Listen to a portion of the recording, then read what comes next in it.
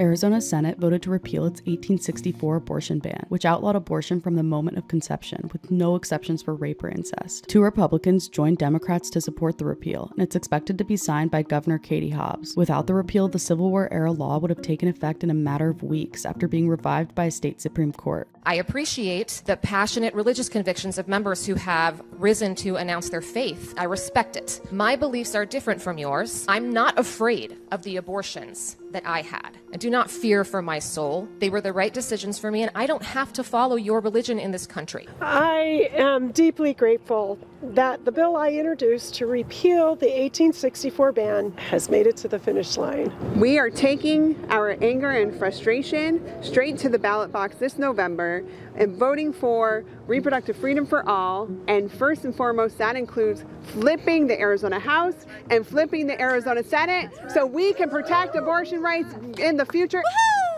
To start, also, uh, we have a lot more work to do. So I'm happy that we got this little win, but there's way more to do. Despite the repeal, there are still restrictions on abortion in Arizona. In 2022, the state passed a law that bans abortions after 15 weeks of pregnancy. Arizona Democrats said they're pushing for measures to be put on the ballot this November that would restore reproductive rights.